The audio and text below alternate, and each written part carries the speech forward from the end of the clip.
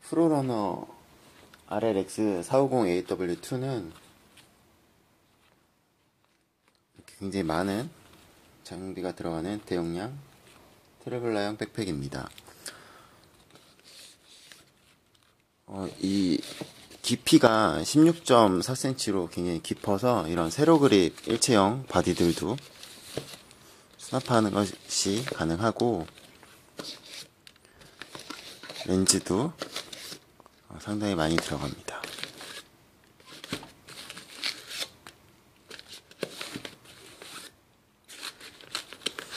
이렇게 그 망원 렌즈를 장착한 상태에서 또 넣을 수 있게 이런 공간도 지원되는데 이 X450AW2는 중앙부에 그 핸들이 들어가는 공간이 확보되어 있기 때문에 이쪽 주변부보다 약간 좀 더 튀어나와 있습니다. 그래서 이쪽은 이제 16.4cm, 이쪽은 약 11cm 깊이가 다르기, 다릅니다. 그래서 세로 그립 일체형 바디는 이쪽 주변에만 넣을 수 있고 이쪽 가운데에는 세로 그립이 결합되지 않은 카메라만 넣을 수 있습니다.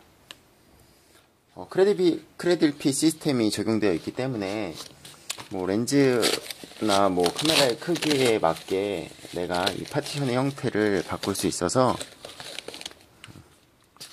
내 장비에 맞게 이 파티션을 재설계해서 사용하는 것이 가능합니다. 이렇게 다섯 개의 렌즈 그리고 카메라에 결합된 망원 렌즈 그래서 총 여섯 개의 렌즈와 두 개의 카메라 그 다음에 뭐 LED 라이트 아래쪽에는 뭐 외장하드라든지 기타 뭐 동영상 촬영 장비들을 수납할 수 있어서 굉장히 많은 카메라 장비를 수납할 수 있는 가방입니다.